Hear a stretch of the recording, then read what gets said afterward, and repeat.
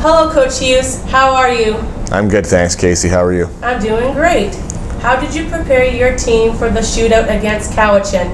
Uh, the preparation was more just having our guys aware that it was a possibility when you do get to overtime that it's going to be there's going to be a finish this year. Spend some time on it in practice, but it's not a huge focus for us. But Jeff and I talked during overtime about the three guys that we'd start with, and obviously with our goaltending tandem, we're pretty confident going into those situations. Why did you choose Tyler Vanduen as your captain?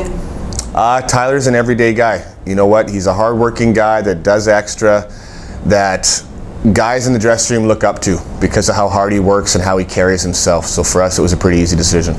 And the other three as your leadership group? Uh, Spencer Hora, you know, we acquired him last year, and he's what, what we expected. You know, a, a, great voice in the dressing room, a guy that brings it every day, practices and games, and a guy that uh, the teammates really rally around. Uh, Darren Rizzolo, four-year guy in the league. You know what? Darren plays a lot of big minutes for us, plays in key situations, and is a guy that young players look up to. So I think it was important to get Darren in the leadership group this year. It's something he wanted, I think.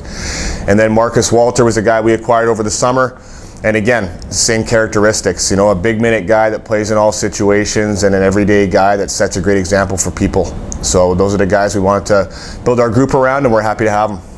John Hawthorne received an honorable mention in last week's BCHL Player of the Week. Your thoughts on his accomplishment? Uh, congratulations, number one. And I think for John and, and for us as an organization, we, we, we, feel that we have one of the best goaltending tandems in the league. And either one of those guys could get those accolades any weekend, and we expect a very high level from both those guys. What are your thoughts about the first four games into the season? Um, haven't minded three out of the four. Obviously, the game against Victoria, I just I thought like our first couple of shifts were good, got into penalty trouble, and never really recovered. Um, the first couple in, in the one in Couch and one in Nanaimo were tight games. I thought we played real well in Nanaimo. Really didn't give them much. I believe we gave them 18 or 19 shots at the end of the day, and we were a real solid group defensively. And then this past weekend with the two home games, we just didn't find any offense, and we've got to get the power play going. How are you preparing your team for the BCHL showcase? Uh, just you know, talking to the guys about what to expect there. Obviously, it's a pretty heavily scouted event, and, and it's important that we that we stick together as a group and focus on on how we're going to play the game and and go in there. And we're going to have two good tests in Wenatchee and Salmon Arm, so we're excited about it.